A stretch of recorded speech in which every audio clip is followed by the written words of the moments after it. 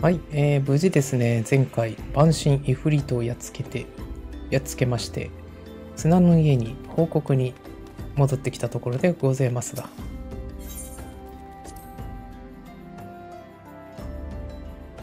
インフィリアさん、仕事してきました。ギルちょうだいあれ？暁の決命医。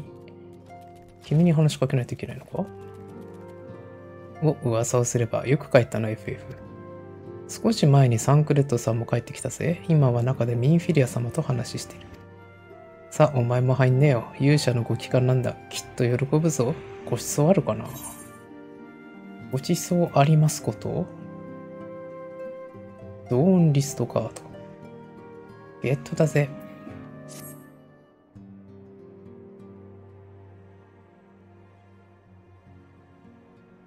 すまないミンフィリア。俺がついていながらあいつを危険な目に遭わせてしまった。それどころか、万神イフリートと戦わせることになるなんて。今回の事件、結局はあいつの力に頼ってばっかりだった。俺に任せろだなんて大きな口を叩いた自分が情けないよ。そうだそうだ。あいつのために俺にも何かできることがあればいいのだけど。サンクレット。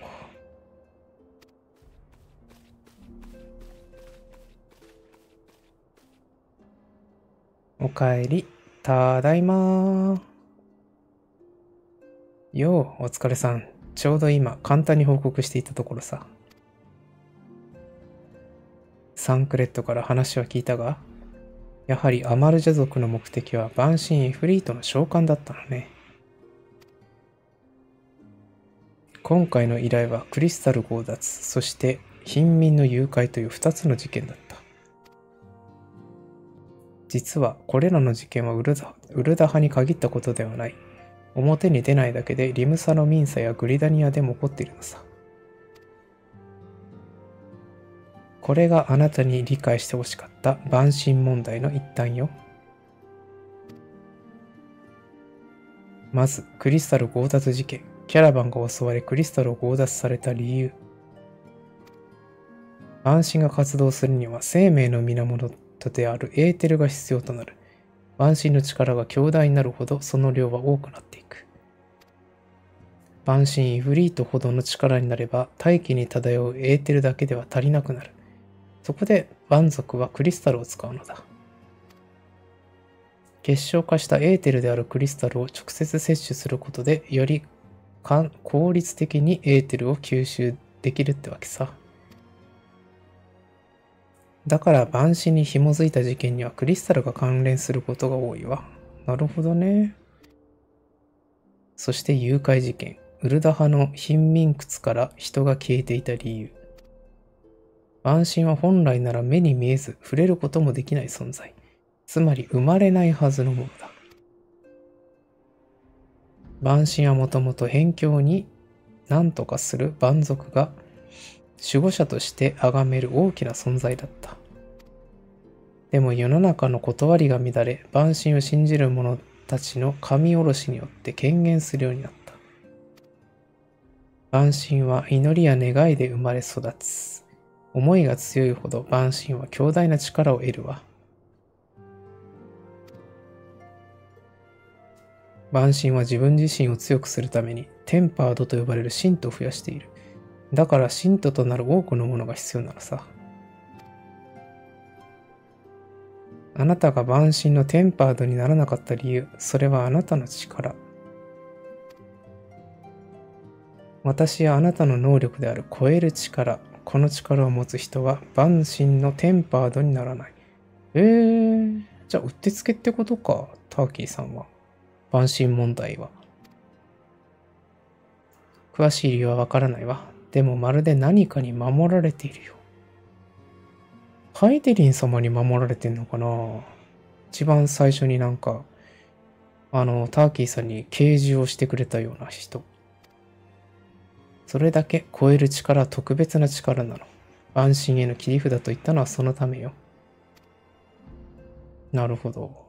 今回の事件は組織的かつ計画的なものだった。第7零歳からこっち、蛮族の動きが変わってきてるんだ。嫌な予感がする。ともあれ、あなたたちが無事でよかった。この事件の背後関係は引き続き不滅体が追うそうよ。ひとまずは安心して。二人ともお疲れ様。ゆっくりと休んでね。それにしても、バンシンフリートを倒した冒険者か。ふふふ、この後大きな騒ぎになるかもしれないわよ。マジで？ターキーさんのファンがエオルゼア中からやってくるサインの練習しとこ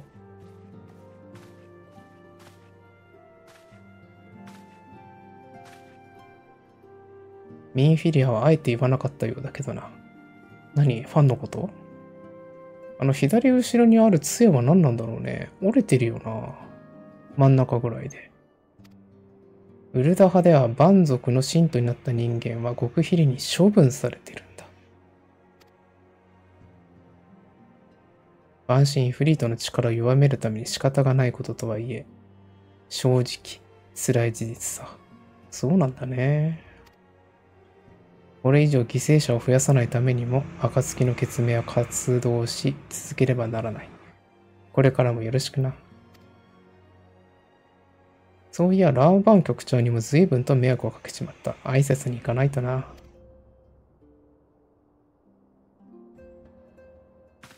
じゃあね、イケメソ。今度飯でもおごってくれ。ルイゾアのじいさんは、行っちまったんだ。私が、俺がもっと力をつけて、みんなを守らないとな。ルイゾアのじいさん。